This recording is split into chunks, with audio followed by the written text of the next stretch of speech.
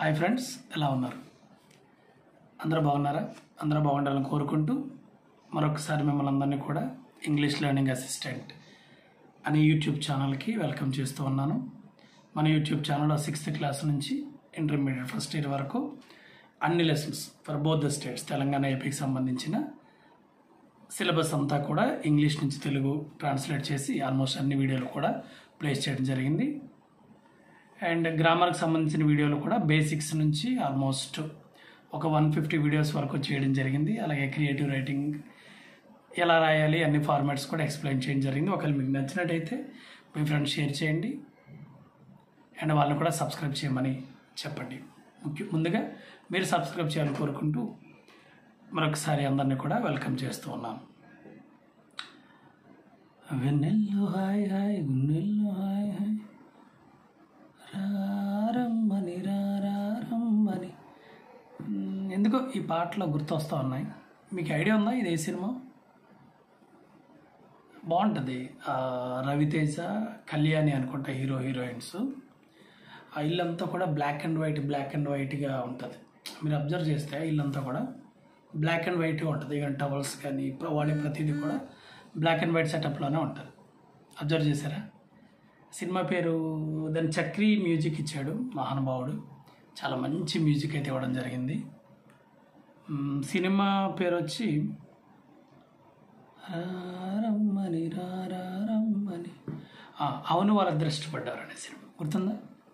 ఎందుకు సడన్గా ఇప్పుడు ఆ సినిమా కోసం చెప్పుకుంటున్నాం? రివ్యూ ఇస్తాం అనుకుంటున్నారా? కాదు కాదు. ఇప్పుడు మనం చెప్పుకునే టాపిక్ ఏదైతే ఉందో ఆ టాపిక్ని చూసే ఆ సినిమా తీశారంట. ఎవరికి చెప్పకండి ఇది పెద్ద సీక్రెట్. ఇప్పుడు మనం ఏ టాపిక్ అయితే చెప్పుకుంటున్నామో ఆ టాపిక్ని బేస్ చేసుకునే ఆ సినిమా తీయడం జరిగిందంట. ఆ టాపిక్ పేరు ఏం పేరు?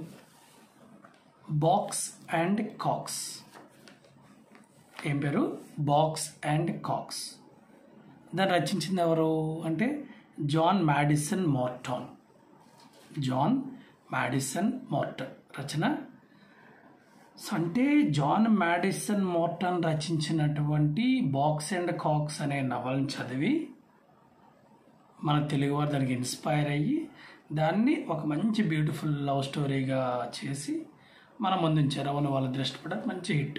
అది కూడా ఆ సినిమా చాలా బాగుంది. ఆ స్టోరీ గుర్తుందా ఎవరికైనా?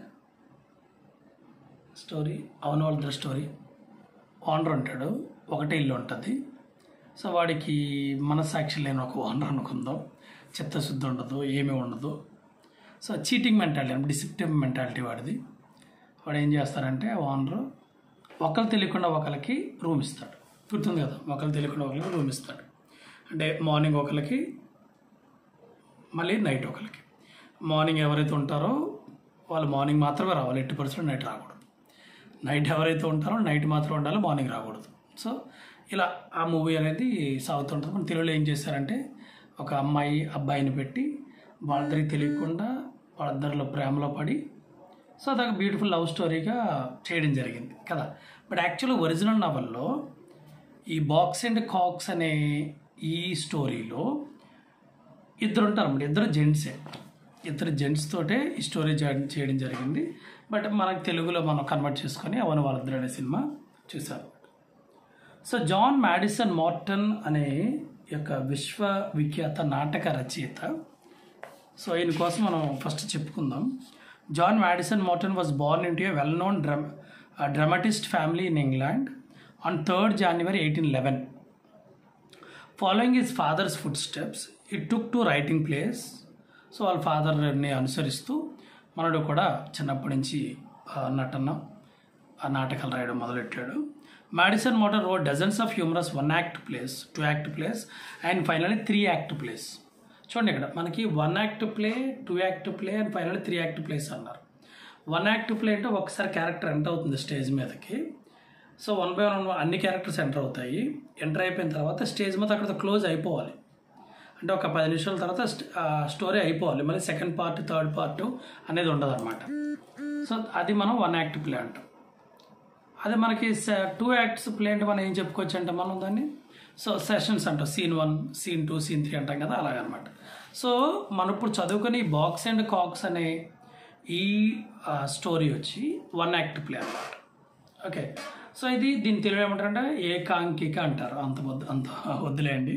సో వన్ యాక్ట్ ప్లే అని గుర్తుపెట్టుకోండి మరి ఈ నవల చూసే మనకి అవును వాళ్ళిద్దరనే అవును వాళ్ళ దృష్టి పడ్డారనే సినిమా తీయడం జరిగిందనమాట కేవలం మూడే మూడు పాత్ర విత్ ఓన్లీ త్రీ క్యారెక్టర్స్ అది కూడా ప్లేస్ అయితే ఒకటే ప్లేస్ చెప్పారు ఆల్రెడీ. ఏంటది? ఒక రూమ్ ఒక లాడ్జ్లో ఒక రూమ్ అనమాట సో జరిగే ఆ సంఘటనలతో ఒక మంచి సందేశాన్ని ఇస్తూ మన కడుపుబ్బ నవ్వించగలిగే ఒక అసాధారణమైనటువంటి నాటిక ఈ Box and Cox okay so his plays won his ఫే him fame and lots of wealth they also ఇప్పుడు many actors establish themself as a great artist he was able to write as well as at eighties as at thirty అంటే ఎయిటీస్లో కూడా థర్టీలో ఉన్నప్పుడు ఎలా రాసాడో అలాగే రాసేవాడు అంత బాగా. In his last days had to live అనే పెన్షన్ అంటే ఎంత సంపాదించినా కానీ తన జీవ చివరి చివరి జీవితంలో మాత్రం పెన్షన్ తోటే బతికాడంట. He died in London nineteenth December eighteen ninety one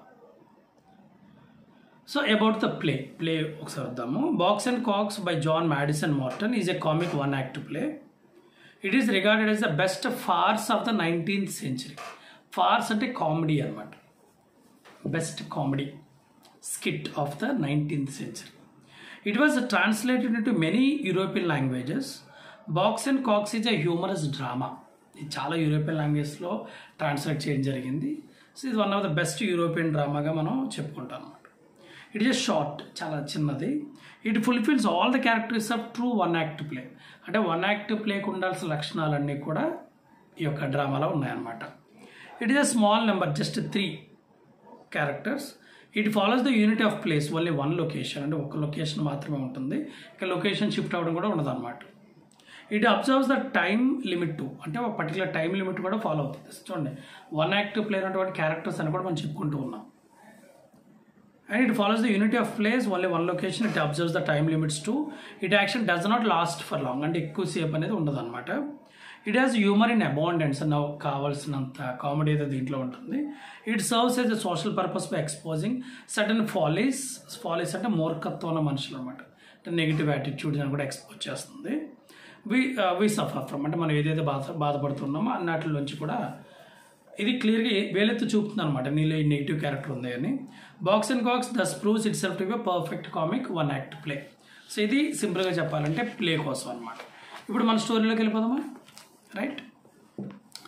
Mrs Bouncer is a greedy landlady so మన ల్యాండ్ లేడీ పేరు ఏం పేరు? మిసెస్ బౌన్సర్ గ్రీడీ అంటే తెలుసు కదా అహంభావం లేకపోతే చిత్తశుద్ధి లేని మనసాక్షి లేని ఒక woman landlady okay she unscrupulously lets her large room to two men without their knowledge unscrupulously అంటే చిత్తశుద్ధి లేని మనస్సాక్షి లేనటువంటి అని మీనింగ్ అనమాట ఓకే ఆమె ఏం చేస్తుందంటే ఒకే రూమ్ ఇద్దరికి ఇస్తుంది వాళ్ళిద్దరికి కూడా తెలియదు వాళ్ళిద్దరికి కూడా తెలియదు అనమాట ఒకరు తెలియకుండా ఒకరికి ఇస్తూ ఉంటుంది.